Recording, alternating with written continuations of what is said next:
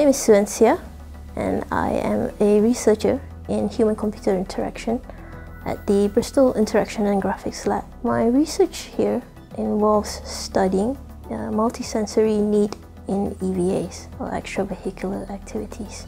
This involves observing the uh, crew members in performing their EVAs, for example, using tools, using scientific instruments, interacting with a laptop when they're trying to work outside. The spacesuit um, creates a barrier between the astronaut and the environment and I'm trying to understand how much of an immersion people would like to have with the environment. She's trying to open a compass here but she can't seem to grip it very well and obviously this would be simple you know if she was to perform a, something every day.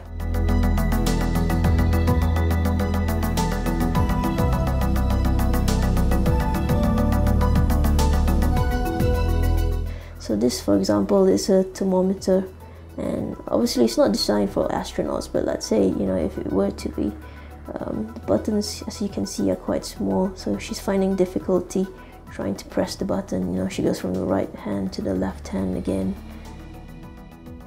So when you close your eyes, you understand how it is to be blind.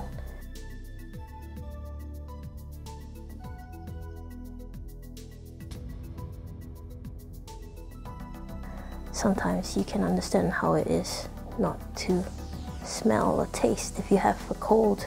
But with touch, it's completely different. You probably only really experience it if you, um, I guess, rest your arm in an awkward position for a long time and you get pins and needles and you feel that, you know, you see your hand moving but you can't feel what it's doing.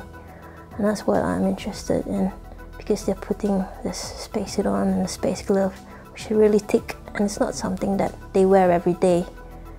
I'd like to understand what it is that they're missing and what could help them perform their activities better. Terima kasih untuk peluang berkongsi pengalaman ini.